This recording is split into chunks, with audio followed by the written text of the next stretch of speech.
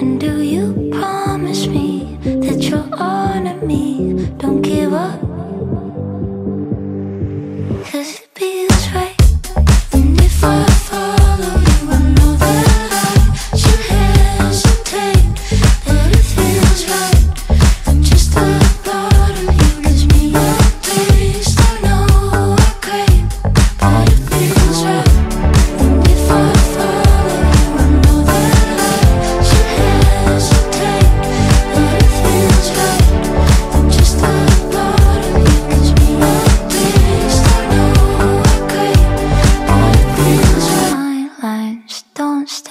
unless you're ready now to make him upset, I wouldn't take you for the shy type, not yet, but then again, who knows?